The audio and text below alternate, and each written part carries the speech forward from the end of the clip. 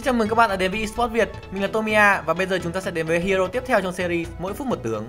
Hero trong kỳ này là Anchemit, một hero có khả năng phá game tốt bậc nhất trong phiên bản 6.4 này. Bạn muốn có cảm giác làm tỷ phú, chia tiền cho gia đình có hoàn cảnh, Anchemit chính là hero bạn tìm kiếm bấy lâu này. Skill 1 tạt acid khiến đối phương đứng trong AoE bị trừ giáp và mất máu theo thời gian. Skill 2 stun với phong cách sóc lọ. Sóc càng lâu bắn càng mạnh và đã sóc thì phải bắn chứ đừng có giữ lọ không là nổ banh xác. Skill 3 là passive tạo là triệu phú, có tác dụng biến xác đối phương thành vàng giúp Anche càng farm càng giàu. Ultimate khi dùng sẽ làm cho Anchemit nổi điên tím tái mặt mũi khiến hắn biến thành chuốc quẩy, đánh nhanh, chạy nhanh, regen nhanh. Với skill 1 sát thương rộng cùng với ultimate, hắn có thể dễ dàng farm những stack rừng lớn mà không sợ bị quái gõ chết. Quay lại với vấn đề phá game, ở phiên bản 6.84, Anchemit có thể búp gậy xanh cho đồng đội. Ừ, đây là khả năng duy chỉ mình anh mới có. Hãy tưởng tượng, phút thứ 10, bạn thấy support Orc Magi cầm gậy xanh đi multicast liên tục vào đầu mình, hẳn cũng có đôi chút ức chế.